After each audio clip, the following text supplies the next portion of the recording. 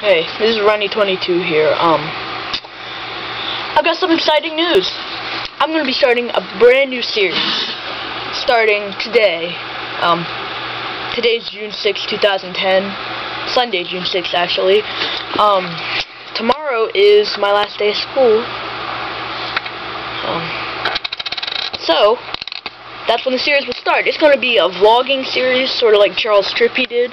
One video every day, as long as I can possibly make it, which isn't even 10 minutes, because it won't let me upload videos over 10 minutes. Retarded. Um, yeah, but that's pretty much what I'm going to do. I'm going to do it at least until, you know, a year. I honestly don't know if I'm going to go on after that, you know. At least for this next month. I'm going to.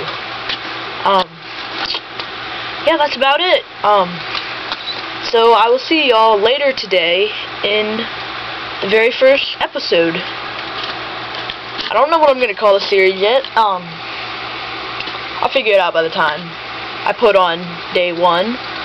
Um, so, look forward to it, YouTubers. It's a real treat. Until then, I'm Runnee22, and I'm out.